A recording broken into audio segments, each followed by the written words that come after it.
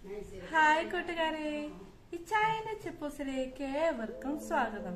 അപ്പോൾ നമ്മൾ ഇന്നത്തെ വിഭവം എന്താണെന്ന് അറിയാൻ എല്ലാവരും ആകാംക്ഷയോടെ നോക്കിയിരിക്കുക ഇന്നത്തെ വിഭവം എന്ന് പറഞ്ഞിട്ടുണ്ടെങ്കിൽ ഇന്ന് ക്രിസ്ത്യാനികളെ കൊയ്ക്കട്ട ഉണ്ടാക്കുന്ന ദിവസമാണ്. അപ്പൊ എല്ലാവരും എല്ലാ ക്രിസ്ത്യാനികളും ഇപ്പൊ വീടുകളിൽ കൊൽക്കട്ട ഉണ്ടാക്കിക്കൊണ്ടിരിക്കുകയാണ്. അപ്പൊ ഞങ്ങളും ഇന്ന് ഉണ്ടാക്കുന്നുണ്ട്.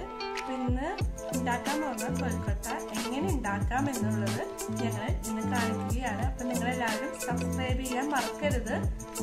ഈ വീഡിയോ മുഴുവനായിട്ട് കാണാനായിട്ട് ശ്രമിക്കുക. അപ്പൊ നമ്മൾ എന്തൊക്കെയാണ് കൊൽക്കത്ത ഉണ്ടാക്കാൻ വേണ്ടിയുള്ള ഇൻഗ്രീഡിയൻസ് എന്തൊക്കെയാണെന്ന് നമുക്ക് നോക്കാം. നമ്മൾ ശരക്കര ഉരുക്കാനാണ് പോകുന്നത്. ഒരു അര അര കിലോ ശർക്കര ഉരുക്കാനാണ് പോകുന്നത്. അര കിലോ ശർക്കര നമ്മൾ ഇതിലേക്ക് ഇട്ടിട്ടുണ്ട് ചിഞ്ചട്ടിയിലേക്ക് ഇട്ടിട്ടുണ്ട്. രണ്ട് കപ്പ് വെള്ളം ഒഴിച്ചിട്ടുണ്ട്. ശർക്കര ഉരുക്കിയതിന് ശേഷമാണ് ബാക്കി പരിപാടികൾ. അപ്പോൾ ശർക്കര ഉരുക്ക് ശർക്കര ഉരുക്കാണ് ഇപ്പോൾ ഇപ്പൊ നമ്മളെ ശർക്കര നീര് ആയി കഴിഞ്ഞു ശർക്കര നീര് നമ്മൾ അര കിലോ ഉരുക്കി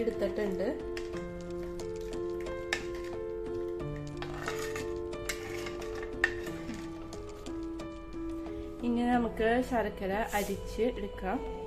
നമ്മളിപ്പോ ശർക്കര അരിച്ചെടുക്കാണ്.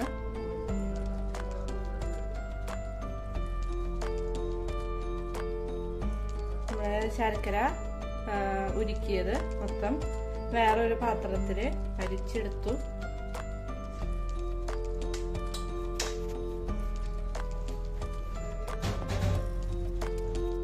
ആദ്യം നമുക്ക് തേങ്ങ ചിരകിയത് രണ്ടെണ്ണം.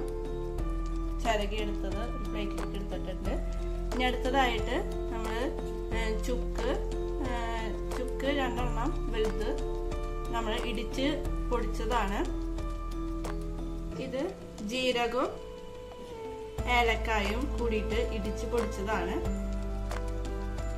ആദ്യം നമുക്ക് തേങ്ങ ചിരകിയത് നമുക്ക് ശർക്കര ഉരുക്കിയതിലേക്ക് ഇടാം.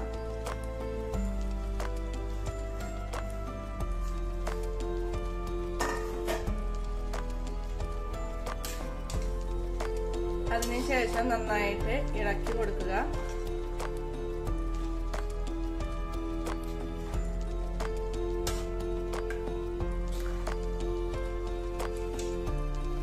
ഇപ്പൊ നമ്മൾ ഇതിൽ ശർക്കര നീര് ഉരുക്കിയത് ഇതിലേക്ക് അരിച്ചൊഴിച്ചു. കാരണം വേറെ ഒന്നല്ല അരിക്കുന്നത് അതിൽ മണ്ണുതരി എന്തെങ്കിലും ഉണ്ടെങ്കിൽ അത് പോയി കിട്ടാനാണ്. നമ്മൾ അരിച്ചിട്ടാണ് ഒരു ചട്ടിയിൽ നമ്മൾ ഒഴിച്ചു. അതിനുശേഷം നമ്മൾ തേങ്ങ ചരകിയത് ഇതിലേക്ക് ഇട്ടു. ഇനി ഇത് കുറച്ച് നേരം ശർക്കര നീര് വറ്റാൻ വേണ്ടിയിട്ട് ഇപ്പോൾ വെച്ചിരിക്കുകയാണ്. അപ്പോൾ കുറച്ച് അല്പം നേരം ഒരു അഞ്ച് മിനിറ്റ് നേരം വെച്ചാലും മതി. അപ്പോൾ അതൊന്ന് വറ്റി കിട്ടും. കുറച്ച് വറ്റും. ഇനി നമ്മൾ ശർക്കര വിളയിച്ചതിൽ നമ്മൾ ചുക്കുപൊടി ഇടിച്ചിട്ടുള്ളത് പൊടി ഇട്ടിരിക്കുകയാണ് ഞാനിപ്പം ജീരകവും ഏലക്കായും ഇടിച്ചിട്ടത്. അത് നമ്മൾ എന്താ പറയുക പൊടിച്ചിട്ടത് നമ്മൾ ഇതിലേക്ക് മിക്സ് ചെയ്തു.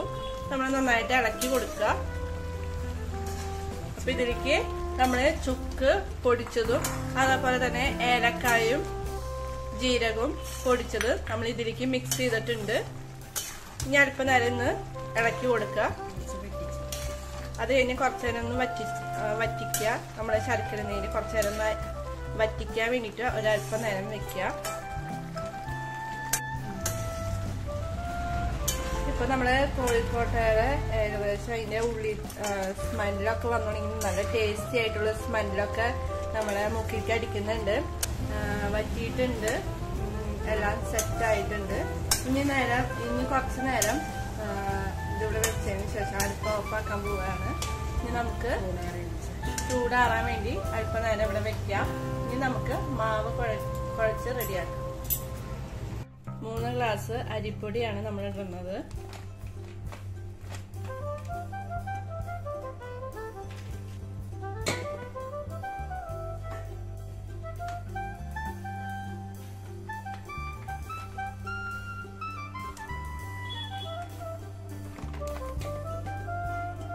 നമ്മൾ മൂന്ന് ഗ്ലാസ് അരിപ്പൊടി നമ്മളൊരു പാത്രത്തിലേക്ക് ഇട്ടു. മൂന്ന് ഗ്ലാസ് വെള്ളം നമ്മൾ ആ പാത്രത്തിൽ തന്നെ നാല് ഗ്ലാസ് വെള്ളമാണ് ഇതിൽ ഒഴിച്ചിരിക്കുന്നത്. അല്പം ഉപ്പ് ആവശ്യത്തിന് നമ്മൾ ഇതിലേക്ക് ഇട്ടു. ഇതിൽ അപ്പോൾ മൂന്ന് ഗ്ലാസ് അരിപ്പൊടി അതുപോലെ തന്നെ നാല് ഗ്ലാസ് വെള്ളം ആവശ്യത്തിന് ഉപ്പുമാണ് ഇതിൽ ആഡ് ചെയ്തിരിക്കുന്നത് നന്നായിട്ട് അതൊന്ന് മിക്സ് ചെയ്യാം.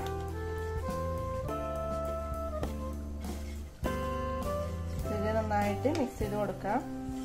നാല് ഗ്ലാസ് വെള്ളം ചൂടുവെള്ളമാണ് ഇതിലേക്ക് ആഡ് ചെയ്തിരിക്കുന്നത് ഇത് നമ്മൾ നന്നായിട്ട് കുറുക്കിയെടുക്കാണ്. എല്ലാതും ഇട്ട് പിന്നെ നമ്മൾ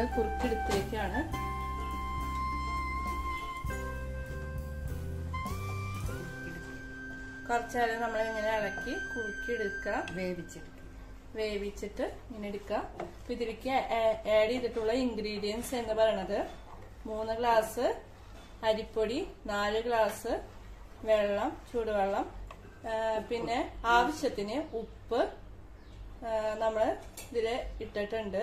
നന്നായിട്ട് ഇളക്കി കൊടുക്കുക. പിന്നെ നമ്മളത് ഒരു ടീസ്പൂൺ വെളിച്ചെണ്ണയും ഇതിലേക്ക് ആഡ് ചെയ്യുന്നുണ്ട്.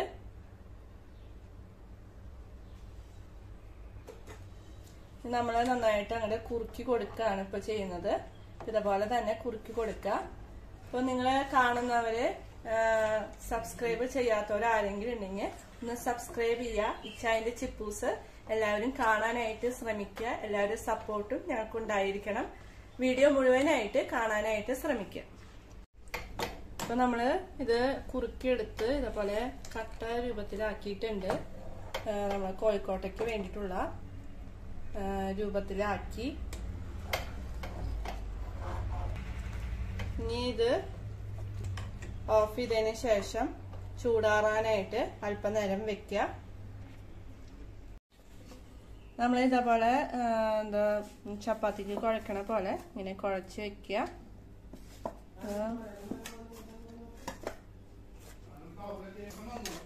അപ്പൊ നമ്മൾ കോഴിക്കോട്ടെയാണ് ഇപ്പൊ ഉണ്ടാക്കാൻ പോകുന്നത് അതിനുള്ള മാവ് റെഡി ആയിട്ടുണ്ട്. ആ, ഇപ്പൊ നമ്മൾ ചപ്പാത്തിക്ക് കുഴക്കണ പോലെയാണ് ഇപ്പൊ കുഴച്ചുകൊണ്ടിരിക്കുന്നത് ഇതേപോലെ ആക്കി എടുക്കുക കോഴിക്കോട്ട ഉണ്ടാക്കാണ് അപ്പൊ അതിന് നമ്മൾ ആ, ഒരു ഉണ്ടയായിട്ട് ഇങ്ങനെ കുഴക്ക. ഇങ്ങനെ കൈ കൊണ്ടൊക്കെ രസത്തിൽ ഒന്ന് ഉരുട്ടിയെടുക്കുക നമ്മൾ ചപ്പാത്തിക്ക് ഉണ്ട ഉരുട്ടില്ല അതേപോലെ തന്നെ ഉരുട്ടിയെടുക്കുക. നമ്മളൊരു ഗ്ലാസ് ഉപയോഗിച്ചിട്ടാണ് അതിന് ഒരു ഉള്ളിൽ ഇങ്ങനെ ഗ്യാപ്പ് ഉണ്ടാക്കുന്നത്. നമുക്ക് കൈ കൊണ്ട് ഇതേപോലെ ഗ്യാപ്പ് ഉണ്ടാക്കാം. കൊട്ട രൂപത്തിൽ ആക്കിയെടുക്കാനായിട്ട് പറ്റും.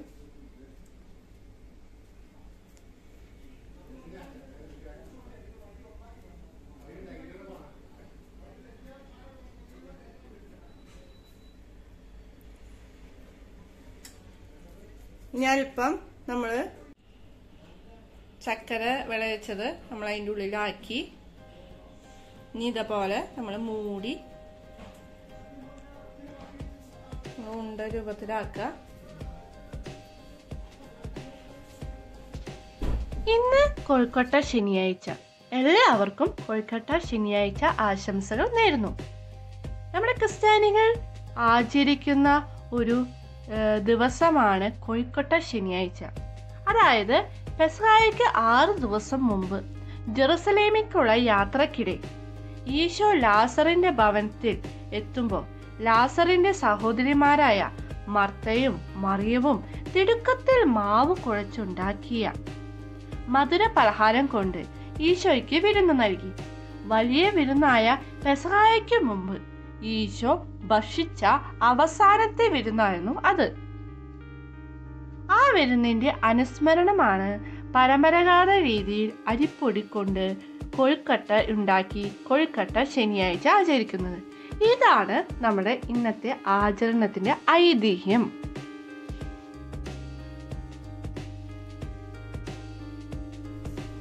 നമ്മൾ ഇത്തിരി ചെമ്പാണ് എടുത്തിരിക്കുന്നത്. നമ്മൾ ചെമ്പിൽ അല്പം വെള്ളം.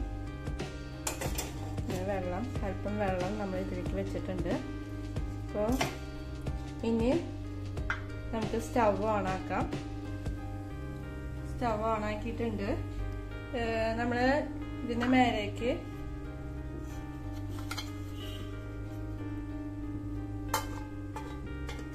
ഏറ്റവും അടിത്തട്ടിയെടുത്ത് ഇഡ്ഡലിയുടെ പാത്രം നമ്മൾ വെച്ച് കഴിഞ്ഞു. ഞാൻ അല്പനേരം നമുക്കിത് മൂടി വയ്ക്കാം അല്പനേരം നമ്മളിത് മൂടി വെച്ചിട്ടുണ്ട്. അപ്പൊ നമ്മൾ ഇഡ്ഡലിയുടെ ഇത് റെഡിയായി. ആ വെള്ളമൊക്കെ തളച്ചു. ഇനി നമ്മൾ കോഴിക്കോട്ട ഓരോ കോഴിക്കോട്ട ഇതിലേക്ക് വെക്കാണ്. നമ്മൾ ഇഡ്ഡലിയുടെ ചെമ്പിൽ ഉള്ളിൽ കോഴിക്കോട്ട കോഴിക്കോട്ടകൾ ഇങ്ങനെ വെക്കാണ്. നമ്മൾ ഉണ്ടാക്കിയെടുത്ത കോഴിക്കോട്ടകൾ ഇങ്ങനെ വെക്കാണ് വേവിക്കാനായിട്ട്.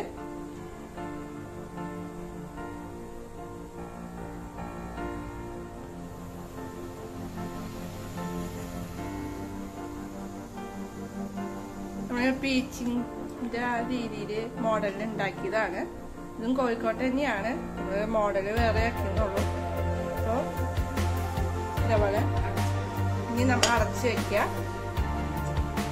ഒരു പതിനഞ്ച് മിനിറ്റിന് ശേഷം നമുക്കിത് തുറന്നു നോക്കാം.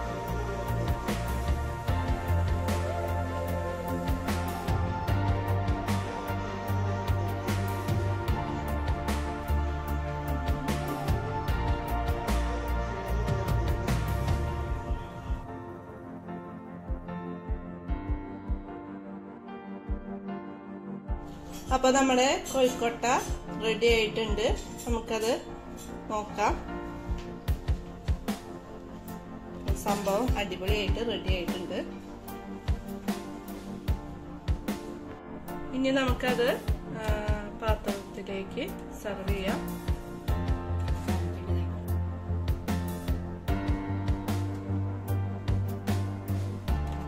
ഇനി നമുക്ക് ഇത് പാത്രത്തിലേക്ക് സെർവ് ചെയ്യാം.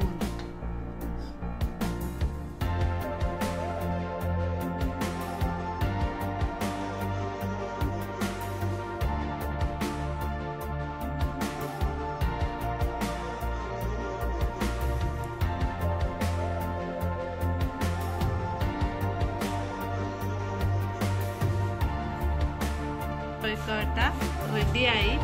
സംഭവം അടിപൊളിയായിട്ടുണ്ട്. നമുക്ക് എല്ലാവർക്കും കഴിക്കാം വീടുകളിൽ ട്രൈ ചെയ്യണം. ചൈന ചിപ്പൂസ് കാണാത്തവരുണ്ടെങ്കിൽ കാണാം. സബ്സ്ക്രൈബ് ചെയ്യാം.